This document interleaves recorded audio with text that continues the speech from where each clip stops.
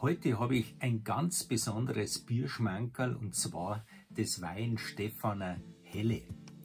Die Weinstefaner Brauerei ist ja was ganz Besonderes. Laut Urkunde haben die seit dem Jahre 1040 ein offizielles Brau- und Schankrecht und damit sind die Weinstefaner die älteste Brauerei, die heute noch im Betrieb ist.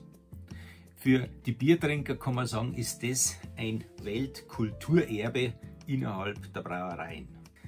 Ja, warum konnten sich die so lange halten? Und zwar, die waren halt immer bemüht, das Beste herzustellen. Die Mönche haben das dokumentiert, haben ihr Brauverfahren immer verbessert und die waren einfach Spitzenklasse. Im 17. Jahrhundert war dann die Säkularisation, dann ist das Benediktinerkloster säkularisiert worden und es fiel an den bayerischen Staat.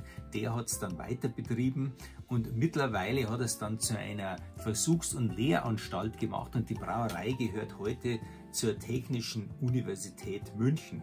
Also bei Wein Stefaner wird Bier auf wissenschaftlich höchstem Niveau gebraut.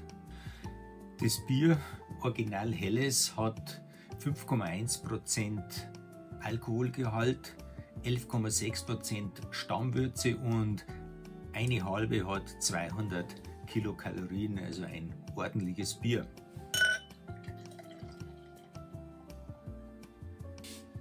Hm, ein angenehmes Bieraroma, nach Gerste, milder Duft, leicht malzbetont.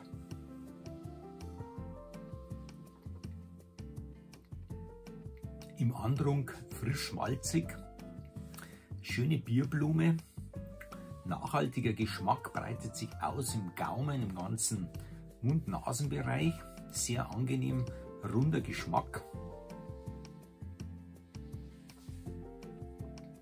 Eine gewisse, ja, ich sagen, edle ja, Öligkeit, also ganz was vollmundiges, nachhaltiges, auch im Abgang kommt dann ganz leichter Hopfen raus. Also ich muss sagen, wirklich ein sehr angenehmes Helles. Sollten Sie wirklich mal probieren. Und wie gesagt, es ist flüssiges Weltkulturerbe, was Sie heute immer noch trinken können. Prost!